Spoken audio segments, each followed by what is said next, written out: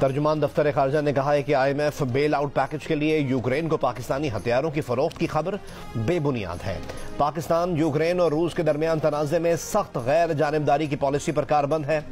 IMF से stand by arrangement पर मुश्किल, लेकिन ज़रूरी मुआशी असलाहत के नफाज पर बात हुई। उन मुजाकर को कोई और रंग देना मकरूह फेल है।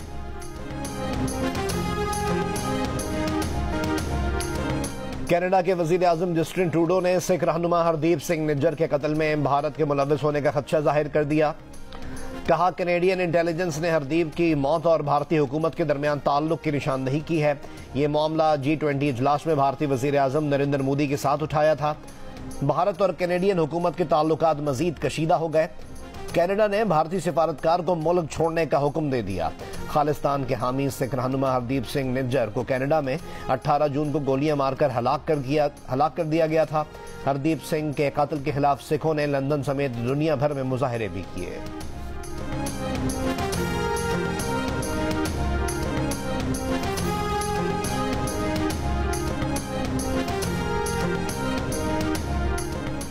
पाकिस्तान के चीफ जस्टिस जस्टिस काजी फायजीसा का बेंच बनाने का अपना अख्तियार इस्तेमाल करने से गुरेज दो सीनियर तरीन जजेस से मुशावरत के बाद बेंच बनाने का फैसला।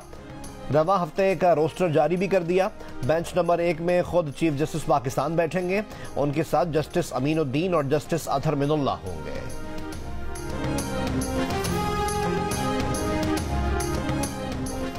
विफाकी हुकूमत review of judgments and order act कलदम करार देने के फैसले पर नजरसानी की दरख्वास्त सुप्रीम कोर्ट ले आई। दरख्वास्त बजरिया अटर्नी जनरल दायर कर दी। सुप्रीम कोर्ट के तीन रुकनी बेंच ने 11 अगस्त को review of judgments and order act कलदम करार दिया था। Review of judgments and order act के तहत ये हक दिया गया था कि अगर किसी को आर्टिकल 184.3 के तहत सजा हुई हो तो उसे अपील का हक हासिल होगा। उस आर्टिकल के तहत सुप्रीम कोर्ट अवामी मफाद में किसी भी मामले पर खुद नोटिस ले सकती है।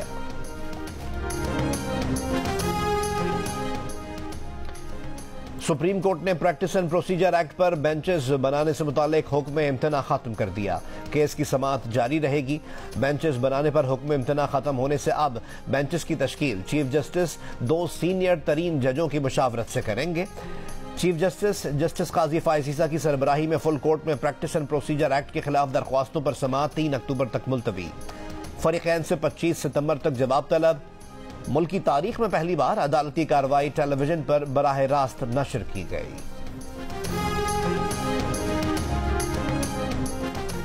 पीडीएम मुल्क को डिफ़ॉल्ट से ना बचाती तो आज मुल्क में पेट्रोल एक हज़ार रुपए लीटर होता। मुस्लिम लीग नून के कायद मियाँ मोहम्मद नवाज़ शरीफ का पार्टी रहनुमाओं से वीडियो लिंक पर खिताब। कहा, अपना सियासी सरमाया दाव पर लगाकर मुल्क को डिफ़ॉल्ट से बचाया। जो शख्स मुल्क को लोड शेडिंग से निजात दिलाता है, चार जज बैठकर करोड़ों आवाम के मैंडेट वाले वज़ीर आज़म को घर भेज देते हैं। इसके पीछे जनरल बाजवा और जनरल फैज थे। उन दोनों के आलाकार साकिब निसार और आसिफ सईद खोसा थे। इंतकाम की ख्वाहिश नहीं, लेकिन मुजरिमों को छोड़ना बहुत बड़ा जुल्म होगा। ये लोग काबिल मुआफी नहीं।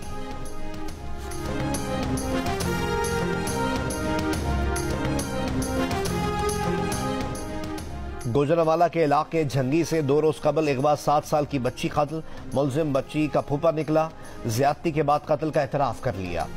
मुलजिम को सीसीटीवी वीडियो की मदद से गिरफ़्तार किया गया। पुलिस ने बताया कि मुलजिम बच्ची को अपने स्क्रैप के गोदाम में ले गया। ज्यादती के बाद बच्ची को कत्ल किया और जुर्म छुपाने के लिए लाश बोरी में डालकर सेवरेज नाले में बहा दी।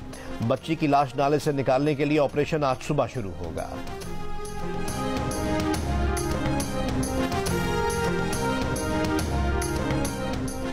लाहौर के इलाके नवाब टाउन में शक्की मिजाज शोहर का घिनौना इकदाम।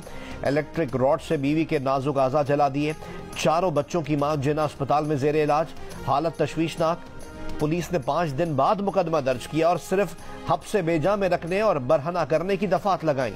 आला हुकाम के नोटिस पर जान से मारने की कोशिश और जिस्म दागने की दफात शामिल करके मुलजिम को गिरफ़्तार कर लिया गया।